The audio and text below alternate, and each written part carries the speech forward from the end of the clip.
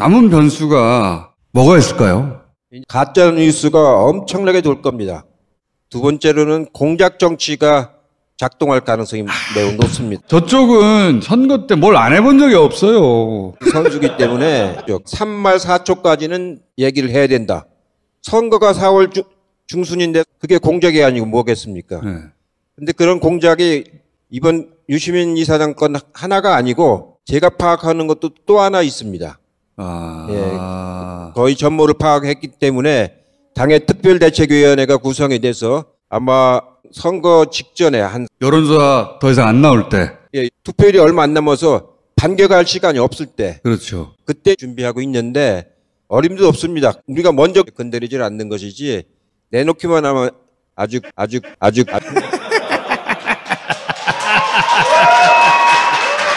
이런 것을 피해가기 위해서는 아주 겸손하게 까지 성실한 자세로 하는 게 중요하지 위세로 하는 게 중요한 게 아니거든요. 그래서 그 세 가지를 잘 지켜나가면 좋은 성과를 가져올 수 있다고 봅니다.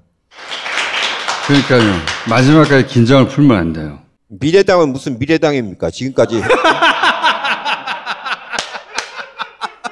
지금까지 해온 게 전부 다 발목 잡기, 토착 외고 뭐 그런 거 아닙니까? 응?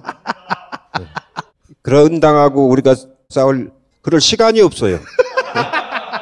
우리가 우리가 할 일도 바쁜데 21대부터는 새로운 역사다, 새로운 정치다 이렇게 생각하고 이번 선거에 임해 주시기를 부탁을 드리겠습니다. 고맙습니다.